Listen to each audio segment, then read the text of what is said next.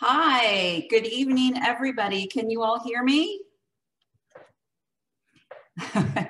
Welcome to the 2021 McKinley Foundation so Social Justice Awards Gala. It's so wonderful to see all of your faces. It's been a long time since we gathered this way, or rather, I don't think we've ever, ever gathered this way. Um, but it's definitely more comfortable, right? No high heeled shoes, jackets and ties, worry about parking on campus. Did you order the chicken or the salmon? Still, I'm so excited to have you all here tonight to help us honor and celebrate this year's award recipients. Before we get started, I wanna help orient you to this virtual surrounding. I know many of you are old hats at this Zoom thing, but I also know that for some of you, this is still unfamiliar territory. And I'm talking to my mom and dad right now. First, I wanna point out that I've placed you all on mute. Um, if for some reason you inadvertently unmute yourself, we'll mute you. So just sit back, relax, and enjoy the celebration without worrying about your phones ringing or your dogs barking or any of those other things we've gotten used to. Towards the end of the program, I will ask you all to unmute yourselves. A message will pop up and you simply have to click on it. Um, throughout the program, I encourage you to use the chat room. We will periodically post information and links there. So you might wanna open it now so you can read them as they appear. So that's at the bottom of your screen. There should be something that says chat and just click on that and it should open up to the side. Um, you can also play with your view settings, whether you prefer gallery view or speaker view, if you know what that means. It really doesn't matter for our purposes tonight, just do whatever is your preference. So can you believe it's been two years since the last time we did this? We commemorated our 10th Social Justice Awards Gala in March of 2019 and we were all set to celebrate with a Roaring Twenties theme and to mark the 100th anniversary of the women's right to vote last April. And then COVID happened. If you're like me, I spent much of the year working from home with very limited society, verging on solitude. We watched as the world changed around us in a variety of ways. An unprecedented, aren't you tired of that word, unprecedented? An unprecedented global pandemic highlighted the inequities of American society. Simultaneously, systemic prejudice against Black Americans made these disparities uncomfortably stark. As a result, the McKinley Presbyterian Church and Foundation sought to reaffirm our commitment to righting these systemic wrongs in our own communities. A Black Lives Matter statement was developed that reflects this commitment and outlines strategies to hold ourselves to the highest standard possible. A link to this document is in the chat. I invite you to read it, download it, share it, tweet it, adapt it for however it might help you and your workplace or your community. But this statement will be a living document. It will change as circumstances require. For us, it is just the beginning. But now let's not talk about McKinley Foundation anymore. Let's talk about those in our community who during this time of strife got fired up by the events and got into some good trouble. They are an example and an inspiration to us all. At this time, I invite Reverend Heidi Weatherford to welcome us further with an opening prayer, followed by a land acknowledgement. Please join me in the invocation prayer. God who labored creation into being, we give thanks for this day and the opportunity to work in your world. Grant us the strength to labor for what is right, just, and fair. Grant us the wisdom to speak out for those who are enslaved, oppressed, and exploited. Grant us the ability and the courage to break the chains of injustice and hear the voices of people long silenced as we seek to work in your world this day, help us make it a better place for all of your children. Amen. It is my pleasure now to introduce to you Mark McConney, who is the manager of Presby Hall. For thousands of years, indigenous people have walked on this land, in their own country. Their relationship with the land is at the center of their lives. We recognize and acknowledge that we are on the lands of the Peoria, Kaskaskia, Piankashaw, Wea, Miami, Mascoutin, Odawa, Sauk, Mesquaki, Kickapoo, Potawatomi, Ojibwe, and Chickasaw nations, past, present, emerging. We are grateful for their stewardship of this land throughout the ages. These lands continue to carry the stories of these nations and their struggles for survival and identity.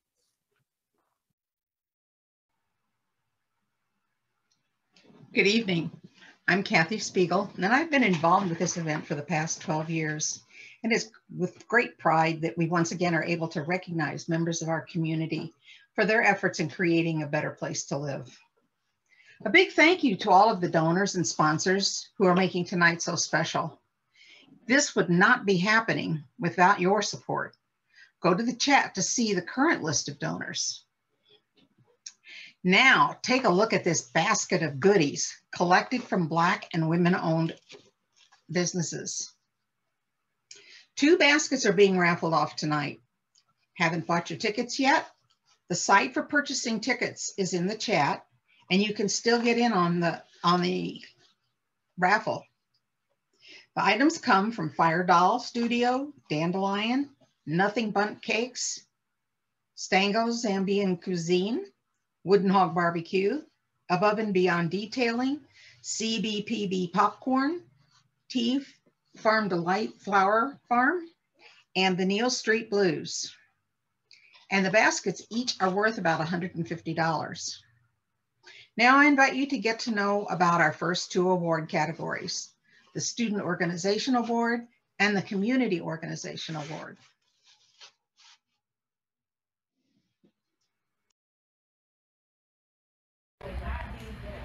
Good evening.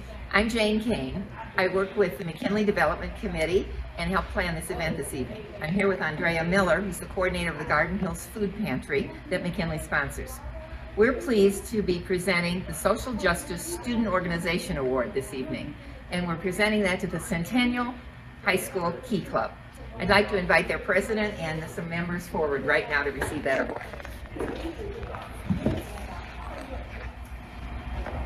McKinley would like to thank you very much for all your work you've done for the uh, Garden Hills Food Pantry this year and present you with an award and with a $500 check that we hope you can use to benefit your club and to carry on more of your activities.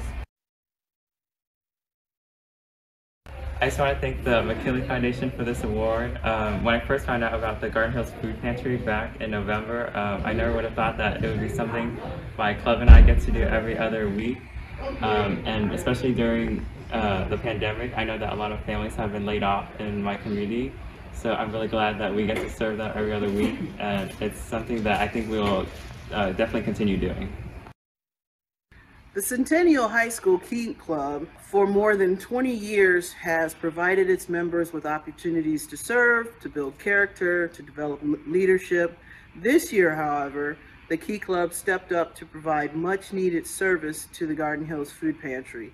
Garden Hills is located in North Champaign and serves an, a food desert area and the pantry has during COVID, lost a great number of its volunteers. And so when the Key Club stepped up, they were able to meet a need. Uh, many of our regular volunteers were older, and with the Key Club being high school students, they were able to pitch in, come in, and the clutch and save our program from having to uh, reduce significantly. Fortunately, David reached out uh, asking for after school volunteer opportunities and we were able to get them started and they've been a very significant part of the pantry. Since that time, they've showed up faithfully every second and fourth Tuesday when we have our distributions and do probably 95% of the heavy lifting. So I can't say enough how much I appreciate the Key Club for their brawn, for their strength, for their willingness to work, for their attitude. They're a great organization, and I am so very blessed and happy to have had them help and become a partner with the Garden Hills Food Pantry. In addition to their work at the food pantry this year, the Key Club has done several other things to help the community and beyond. They work with the Shoebox Project, which provides materials for returning veterans. They've cleaned up a Girl Scout camp in Mahomet and recently finished making fleece blankets for the homeless in the community. So again, we'd like to thank them for all the hard work they've done for McKinley and beyond and wish them well in the future as a Key Club. Thank you.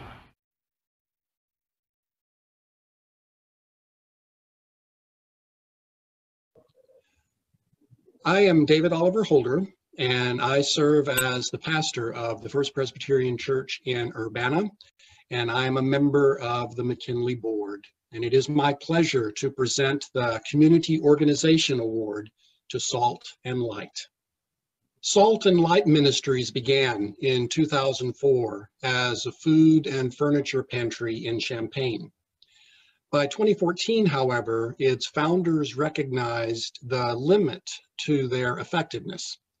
They were serving, but mostly in the sense of alleviating crisis in the short term. Study and reflection led them to a model they hoped would offer sustainable assistance to families and individuals based on people's capacities and interests. Salt and Light occupies a unique place in the constellation of groups and organizations addressing poverty, allowing people to promote their own goals, determine their own needs, and gain resources without losing dignity or any necessary government benefits. It is not uncommon for credit earning volunteers to become regular staff members. During the first round of COVID-19 aid Salt and Light received a grant that secured the community's, the project's community impact by increasing the hourly amount of credit that four credit volunteers earn and more. The impact of this on households and individuals with limited resources cannot be overstated, nor can the impact of the mission's presence in the communities it serves.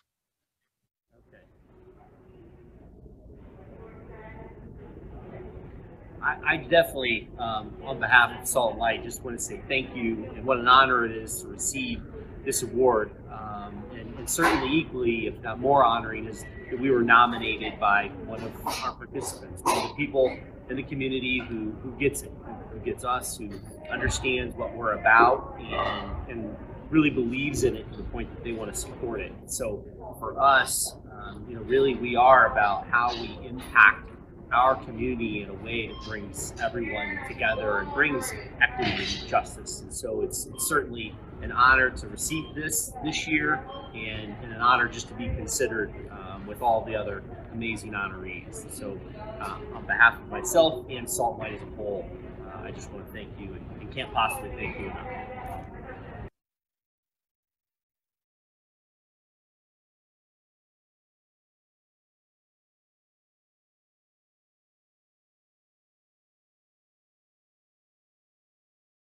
The McKinley Foundation is a nonprofit public foundation, which means we rely on your donations to support our mission to engage, empower students and the surrounding community to act on issues of social justice, diversity, and sustainability. This social justice event is just one example of how we raise money and awareness. Last September, our fund development team got creative and launched our first ever Flamingo Flocking fundraiser. Participants surprised their friends and family with a lawn full of bright pink flamingos adorned with LGBTQ pride accessories. Others with flamingo allergies were able to purchase anti-flocking insurance to protect themselves and their lawns. If you should find a group of flamingos in your yard, you would be said to be hosting a flamboyance.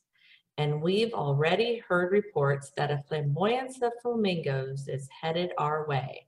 Stay on the lookout for their arrival in September. Don't want to wait until September? You may make a donation tonight. A link to our donation page is provided in the chat. Thank you.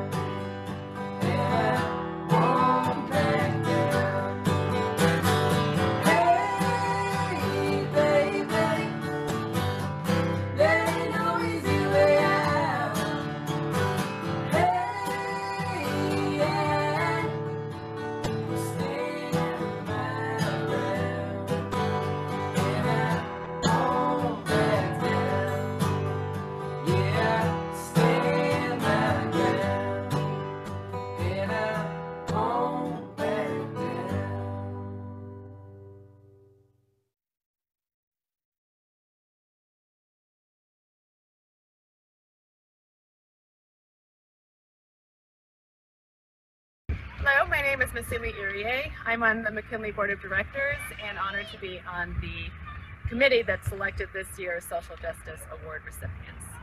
Um, all of us know that 2020 was kind of a horrific year. Uh, we saw the worst in people, but we also saw some amazing things happen. In the summer of 2020, I was so impressed to see our local youth organizing and just not putting up with it and making some good trouble. And I am delighted to introduce my good friend and colleague, Rita Connerly, who herself was doing all sorts of good trouble over the summer. And she will tell you more about Pain to Peace. Yeah, so Pain to Peace is a youth organization of a group of diverse girls from Champaign Urbana who collectively came together to host one of the largest protests in Champaign, Champaign's history, starting right here at Hessel Park in June uh, 2020. They started right here in this pavilion. Um, I want to say over 2,000 people protested the streets of Champaign Urbana, um, standing up against police brutality, um, cultural inappropriation and, and appreciation, and also some of the other issues that are going on in the midst of COVID, speaking from the youth perspective. So we were able to mentor uh, some of the young girls, Naomi Dupree, Ayan Harris, and Maya Well Malik, who are actually amongst um, some of the girls who are a part of that group who are here with us today. So again, just an exciting group of young females that are showing their um, their gifts and their skills and really being a model to other teens their age. So we have three of the young ladies with us here today, and I want to start off by introduce and introducing them and um, honoring them with the, these awards for social social injustice and their fights against that. And I'll start with Ayan Harris. Thank you, Ayan, for all the work that you do in our community. Absolutely. Naomi Dupree. Naomi, thank you for the creation of. And Maya Well Malik. Thank you for all your work too, especially for that right next. Thank you to the McKinley Foundation for the Social Justice Award and recognizing all the work that we do within our community. Thank, you. Hi,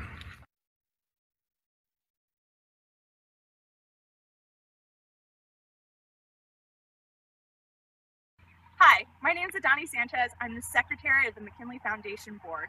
We're here today at Ivanhoe Estates with our Social Justice Community Individual Award winner, Lucia Maldonado. Thank you so much, Lucia, for all your hard work. Thank you. This is really, really special. Um, every time that I get recognized for the work that we do is special, but this year especially is so much more important because it's been a very, very difficult year for everybody. So um, I received this and knowing that I didn't do anything alone, that I have a lot of help from a lot of people. So a little bit of this goes to the two parent liaisons from Dr. Uh, Williams and Leal School that work with me all the time, Mitzi Castillo, Maldonado, and um, Andy Marroquin. So thank you so much for this. I'm Brian Dolinar, and I, along with Mike Doyle, we nominated Lucia Maldonado for this year's Social Justice Award. I've worked closely with Lucia for several years, and she's been a real key community leader in really shedding a light on Latinos in our community. Um, the immigrant families who come here and work and live and build families. And over the past few years, you know, it's been increasingly difficult for this community. The last four years, the administration has really put this community in fear, and Lucia has really been there to help families get by, to help them understand what's going on, to provide them basic services and need, and and really a lot of care for those families. And uh, as well, in the last year, since COVID, Lucia has again been out in the community and dealing with the daily kind of needs of you know, how to get laptops for children, how to get food for the families, how to help families when they lose employment.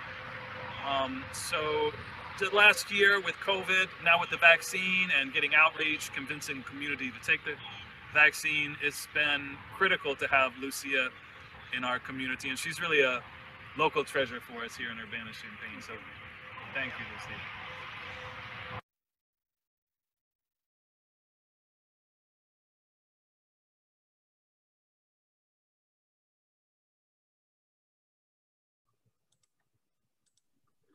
There we go. Hello. Sorry.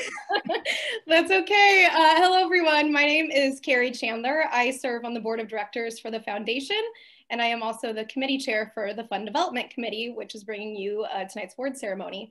So, on behalf of the committee, I just want to congratulate the recipients again and thank you, everyone, for being here to honor the recipients. And I'm actually here to bring you the first raffle drawing. So we have two baskets tonight, as Kathy said. Um, they are all from Black or women owned local businesses. So um, we're very happy to have these two baskets.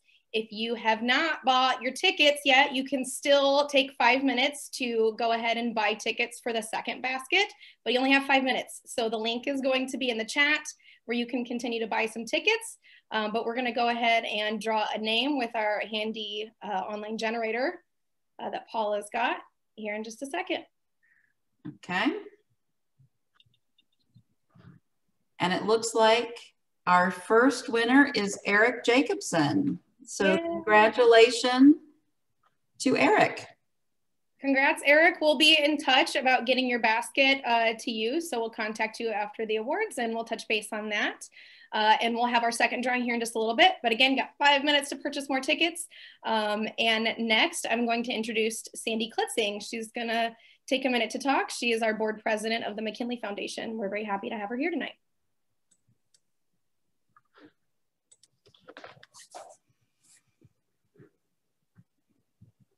Good evening. I'm Sandy Klitzing, President of McKinley Foundation Board of Directors. On behalf of the entire board, I want to congratulate all of tonight's award winners. We are so lucky to have these remarkable people in our community. I would also like to thank the members of the Fund Development Committee for planning such a wonderful event. They are Carrie Chandler, Chair, Jane Kane, Masumi Irie, Kathy Spiegel, and Asami Endo, as well as our staff members Jennifer Wetzel and Paula Hancock. Finally, I want to thank all of you for joining us in support of McKinley and tonight's award winners. We couldn't do what we do without your support. If you haven't already, please consider making a donation. A link to our donation page is in the comments. Next up are two very special award presentations. On occasion, the award selection receives a nomination outlining contributions that span so many years or that have made such significant impact on our community that a standard award doesn't seem adequate. Two such awards are being presented this evening. The Champaign-Urbana Public Health District is honored with a Community Impact Award, and Esther Patt is honored with a Lifetime Achievement Award.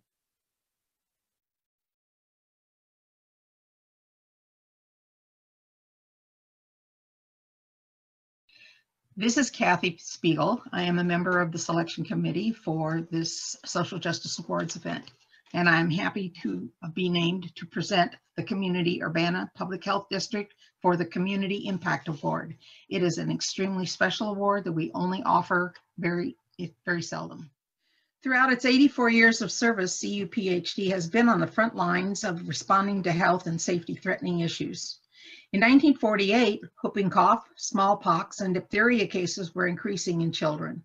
So CUPHD started offering DPT vaccinations. The polio vaccine was offered in 1955, the measles in 1964.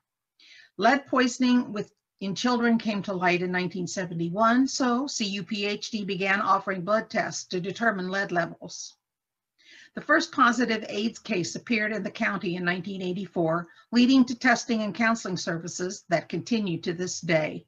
When two U of I students died of a meningococcal disease, PhD began offering a vaccine for students. With this history, it's no surprise that CUPHD quickly rolled out one of the most effective and efficient vaccine efforts for COVID-19 in Illinois. CUPHD used its long-standing expertise and working relationships with other community services to take on the monumental task of efficiently delivering the vaccine to the residents of Champaign County. Early on, tracers were recruited to keep track of positive cases and their contacts. Its website allowed new information to be disseminated instantly. Julie Pryde, administrator of CUPHD, answered questions daily in the News Gazette and is still doing so today. And she has also appeared on local television, quickly becoming the face of COVID information in Champaign County. As soon as the vaccine became available, CUPHD rolled out an online method for signing up. And for those who were not able to access the system online, a COVID phone system allowed residents to make appointments personally. This county is extremely lucky to have such a competent staff working at CUPHD. There will no doubt be new and challenging health and safety issues to address in the future, but we can be assured that Julie Pryde and her staff will be prepared to take them on. Hi, I'm Julie Pryde, Administrator of Champaign-Urbana Public Health District. Um, I want to thank you all for this award. It is very meaningful to myself and to the staff. I have a long history with McKinley uh, Foundation and McKin- McKinley Presbyterian. Um, This has been a really rough year for everyone in, in the world, but everyone in our community and, and certainly for, for the employees here at CUPHD. So um, to get this award and to be able to share it with everyone is, is very special and we appreciate it very much. Thank you.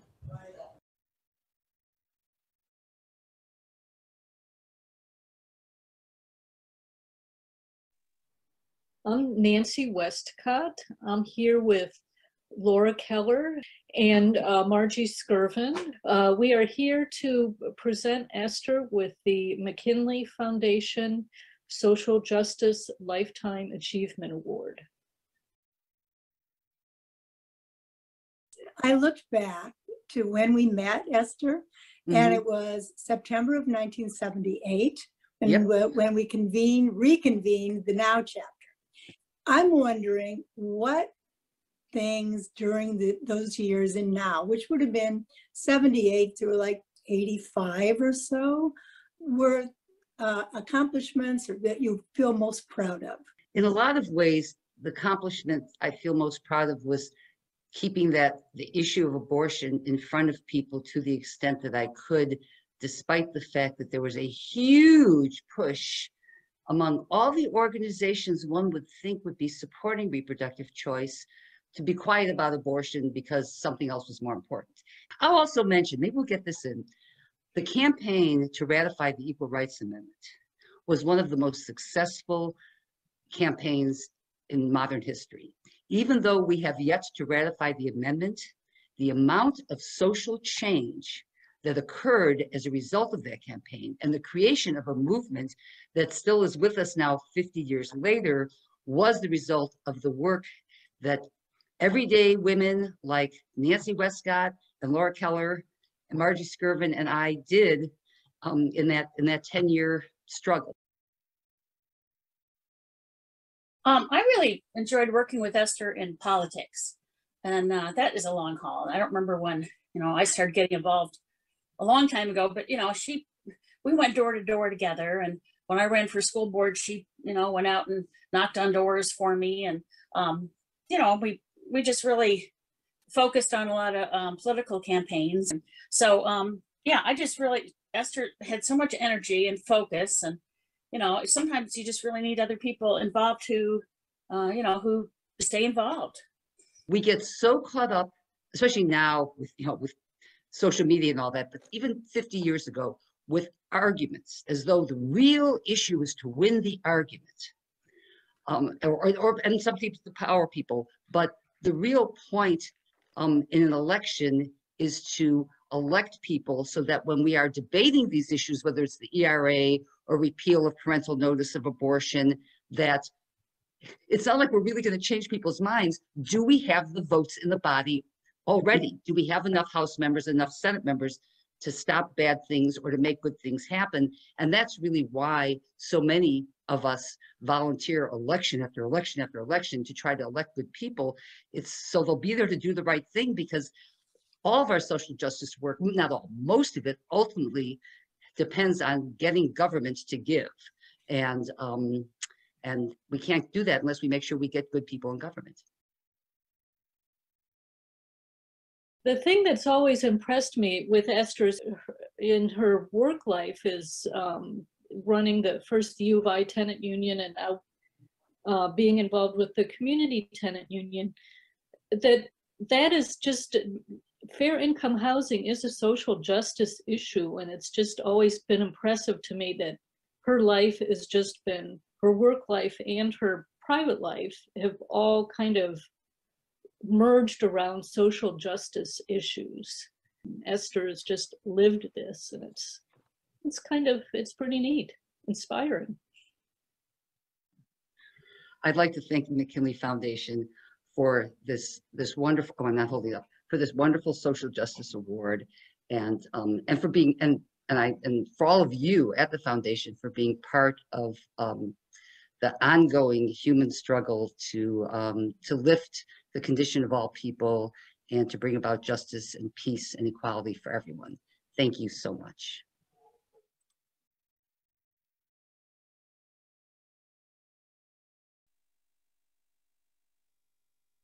Hello again. Uh, we're going to go ahead and draw the second raffle. Um, so we'll pull up our generator here where everybody can see the winner. So suspenseful.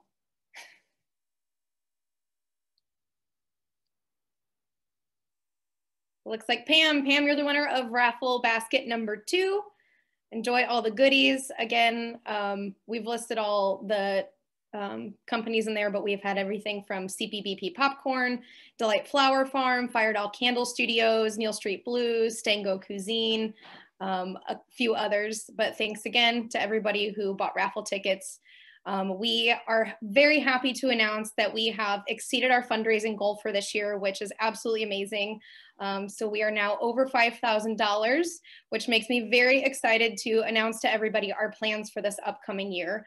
Um, so while we love the social justice awards, this year really got us thinking with all the hardships we've had to endure of how we can continue to open up our fundraising efforts to continue to um, help the community out.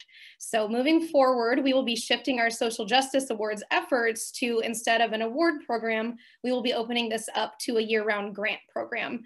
So um, instead of awards recipients, we will be um, allowing people to apply for grants throughout the year. We'll have 12 grants available um, for people that are still doing amazing things in the community. We want to make sure that our fundraising efforts are still going back into the community in really great ways. So um, we will still be having a fun event towards the end of the year we, where we can honor all of the grant recipients um, and kind of see what they've done throughout the year, um, as well as mingle with everybody in fancy cocktail dresses. But please stay tuned for our award um, reimagining kind of moving forward of how we'll be doing these. Um, but we're very, very excited to have this opportunity. And that is all thanks to the donors and the sponsors. We obviously couldn't do it without you all. Um, so please continue to donate. We'll go again, put the link in the chat. Um, but all of these donations will be moving forward uh, to opening up grants for more people, more people doing amazing things in the community. So thank you so much.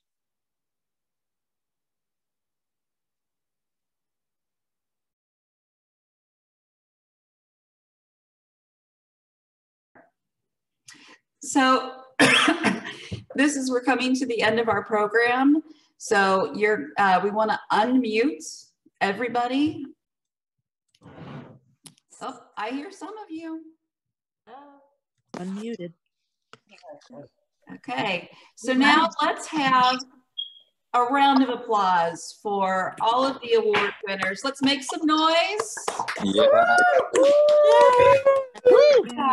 Congratulations. Congrats. Congrats, everyone. And thanks for the music performances. I want to give a shout out to all the pets in the background for being well behaved. And now I'm going to mute you all again, and we're going to hear another song um, from the McKinley Presbyterian Church Choir. And then I will come back and we will wrap up. So stay tuned for just a few more minutes.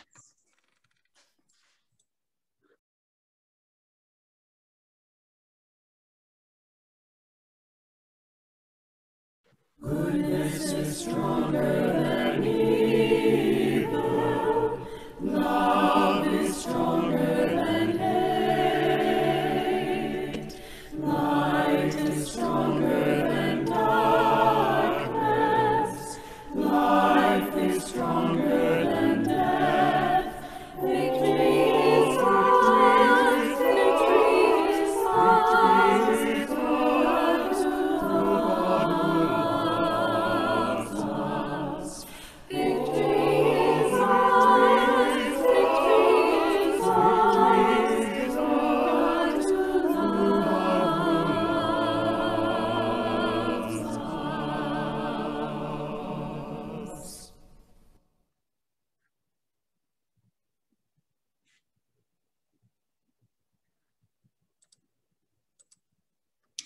So I, first of all, I want to again congratulate all of the winners.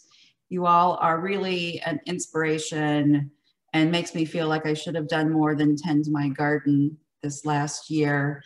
Um, I also want to thank all of my uh, fellow committee members for all the help planning this and on-site video recording. It was a bit of an adventure.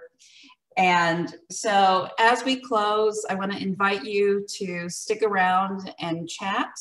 We'll leave the chat room open. Um, and so that if you want to say hi to people or congratulate anyone, feel free.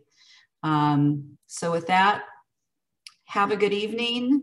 Um, we look forward to seeing you in person sometime soon and enjoy. Thank you very much.